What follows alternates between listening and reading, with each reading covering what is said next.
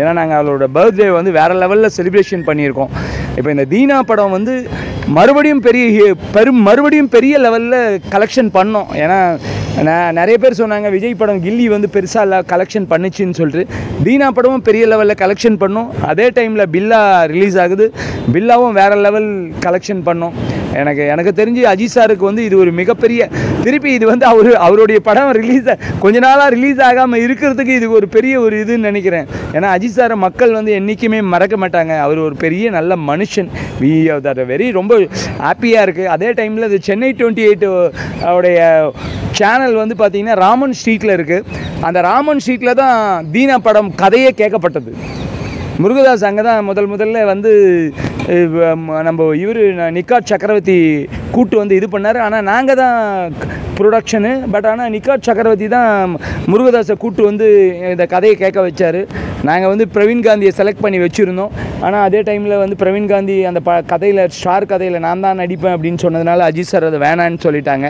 அதுக்கப்புறம் இந்த கதையை கேட்டுட்டு அதுக்கப்புறம் பெரிய லெவல் அந்த பெரிய லெவலில் ஹிட்டு இந்த இந்த படம் வந்து என்னுடைய நண்பருக்கு வந்து ஒரு மூணு கோடி வருமானம் கிடச்சிது பி. கார்த்திகேயனுக்கு.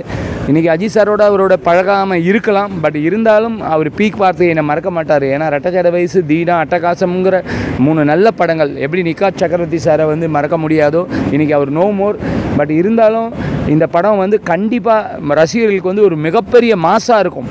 சார் தீனாவில் நீங்கள் ஒர்க் பண்ணியிருக்கேன்னு சொல்கிறீங்க ஆமாம் ஒர்க் பண்ணும்போது நீங்கள் சில பல விஷயம்லாம் பார்த்துருப்பீங்க அஜித் ஆமாம் தீனா தீனாவில் நம்ம வந்து ஒர்க் பண்ணும்போது அஜித் சாருக்கு வந்து அந்த அந்த சாங் வந்து வத்தி குச்சி பத்திக்காதுடா யாரும் இங்கு வர சர வரையில.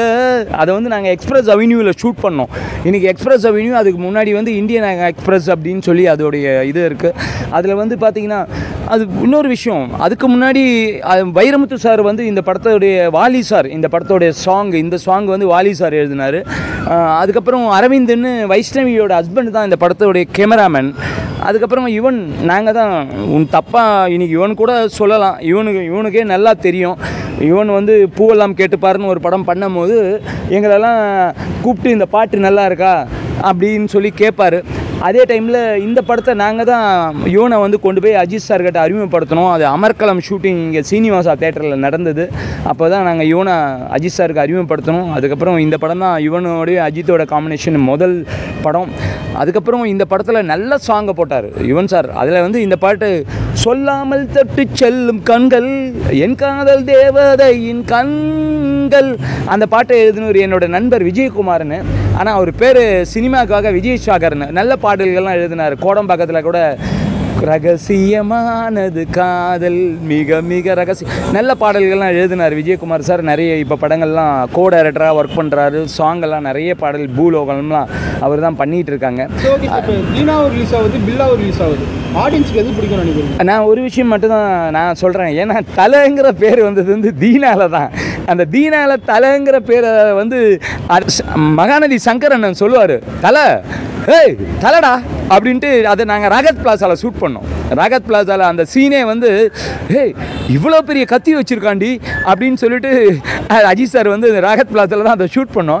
அது உடனே வந்து அதில் வந்து த- மகாநதி சங்கரன் சூப்பராக சொல்லியிருப்பார். அவர் அவர் ஸ்டைலே வேறு மாதிரி இருக்கும். மகாநதி சங்கரன் எனக்கு வந்து ரொம்ப வருஷமாக பழக்கம். மகாநதி படத்துலேருந்து மகாநதி படத்துலையும் நான் டெய்லி ஷூட்டிங் போவேன். கேம்பக்கோலாவில் அதனால் அந்த- அந்த தலைவை அப்படிங்கிற பேர் வந்ததுனால எனக்கு தெரிஞ்சு தீனா தான் இட்ஸ் அ வெரி மாஸ் இருந்தாலும் தீனா வந்து அஜித் சாருக்கு ஒரு மிகப்பெரிய important movie that's at the தலைங்கிற பேர். ஆமாம் சார் இப்போ தீனா அப்போ ரிலீஸ் ஆகும்போது இருந்த கலெக்ஷனை இப்போ பீட் பண்ணணும் நீங்கள் நினைக்கிறீங்க? இல்லை ஒரு விஷயம். பீ தீனா வந்து எப்போ வந்தாலும் கண்டிப்பாக கலெக்ஷனை பீட் பண்ணோம். ஏன்னா அப்போவே கிட்டத்தட்ட க எங்களுக்கு எனக்கு தெரிஞ்சு ஏழு கோடி அந்த டைமில் தீனா கலெக்ஷன் பண்ணுச்சு. ஏன்னா என் ஃப்ரெண்டு ப்ரொடியூசர் அப்படிங்கிறதுனால சொல்கிறேன் அவருக்கே மூணு கோடி லாபம் கிடச்சிது. அதை சொன்னால் அஜித் சாருக்கு எனக்கு இதுவாக இருக்கும். அது மூணு கோடி லாபம் கிடச்சிது. ஆனால் கண்டிப்பாக இந்த இந்த இந்த வாட்டியும் நல்ல கலெக்ஷன் பண்ணோம். அது அந்த லெவல் ரீச் ஆகுதோ இல்லையோ ஐ திங்க் இட்ஸ் ஒரு ஒன் வீக் தீனாலாம் நல்லா போனாலே பெரிய விஷயம். இப்போ கில்லி கூட அப்படி தான் போய்கிட்டு இருக்கு. எம்ஜிஆரோட படங்களும் அப்படி தான் போய்கிட்டு இருக்கு.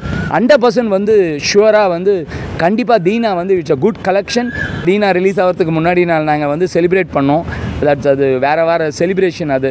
அப்போது அஜித் சாருக்கு வந்து I think is at Ajith sir வந்து ரெண்டாயிரத்தி ஒன்று பொங்கல் அப்போ இந்த படத்தை ரிலீஸ் பண்ணோம்.